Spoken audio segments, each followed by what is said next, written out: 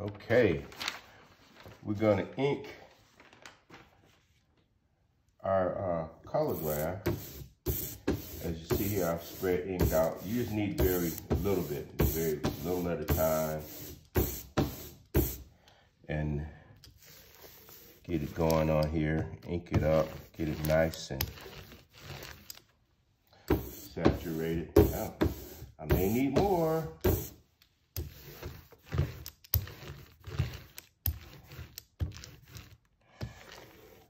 This is what we have. Um,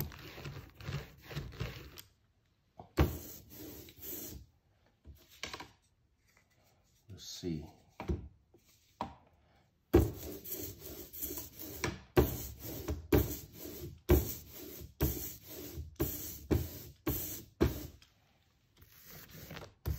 So we try to roll the different different ways. Um, it's not perfectly dry, but should be interesting. Okay, so this is another thing you uh, want to check out too, is make sure your paper's more or less registered. You could put a mark down on the board, stretch the paper out, make sure it's centered. That's what we call our registration. And I'm put this little paper on the top. So I'm gonna tear this fantastic rice paper. So this right here is what we call a baren. As you see, this is two wooden knobs. This is what you would use uh, in a cabinet door handle or something like that.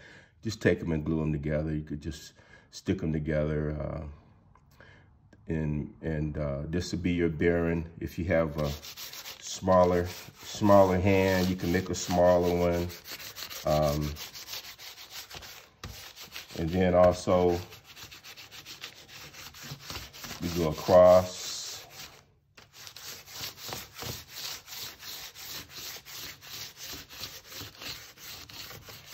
Get this everything down. Okay. Cross horizontal. Do vertical.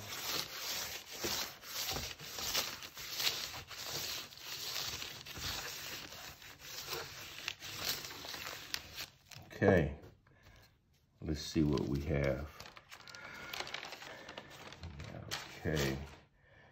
See if we had a press, that would be a, a blanket and a board. But hopefully we don't need a lot, a lot, lot of pressure. So, and I didn't ink this up too much. So here we go. So any print, you know you're gonna get a reverse of, of what you have. So while you're working, it, it, if you're working uh, portrait style or landscape, or if you're gonna do a um, portrait, or let's say like a still life, you can actually, when you're drawing, you can hold it up to a mirror and, and look at it and figure out what you have. Um, also here we have um, another baren that I made. These are two similar, this is a little detail. These are similar um, doorknobs. You can get them from any neighborhood hardware. Um, glue them together, get your baren there, or you can just go to any art supply store and they have a baren that just like with a, that has a handle to it. I have them on in the studio somewhere, but I don't have it now. Uh, also, you can maybe look at um, this little wooden spoon. That could that could work too. You could probably probably put pressure on your board. Okay, get a good look at that print. Okay, so we can use any any any number of textures and designs, even uh, portraits, uh, self-portrait, that that type of work. So um, that's one example there. So we can actually use even a kitchen spoon, wooden spoon, put pressure on it. See the bottom is a little, it's okay, it's, it's flat. And then have your uh, rolling pin.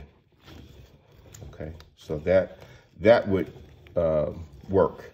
Okay, so that would be something that you could use. This one doesn't have spindles, but you can use one with spindles, and uh, maybe able to get some good pressure.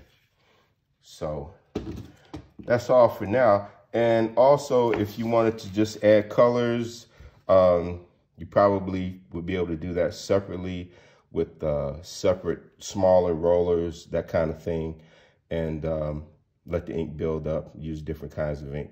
So for now, um, I believe that's finished as far as uh, uh, demo is gone for uh, collagraph. Thank you.